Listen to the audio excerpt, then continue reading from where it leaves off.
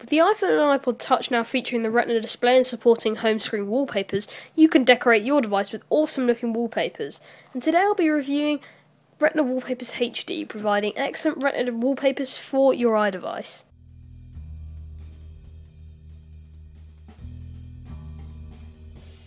This application can be downloaded for free now in the Apple App Store and provides thousands of wallpapers covering many different genres and subjects, such as technology, sport, and nature, so there is sure to be a wallpaper you'll like.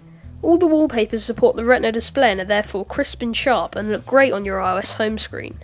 You can also filter the available wallpapers to find the one you like by choosing one of the provided categories, including new, popular, sport, and more.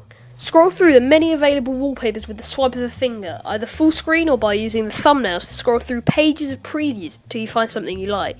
Once you find a wallpaper that suits your taste, use the options at the bottom of the screen to save it to your camera roll, begin a slideshow, share, etc. etc. Once you have saved the wallpaper, apply it by visiting your photos and selecting Use as Wallpaper.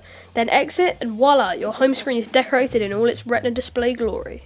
I hope you found this video helpful. Please remember to thumbs up the video and subscribe for more reviews like this one, as I've got many more app reviews to come on the Tom Does Tech Reviews channel. Bye for now.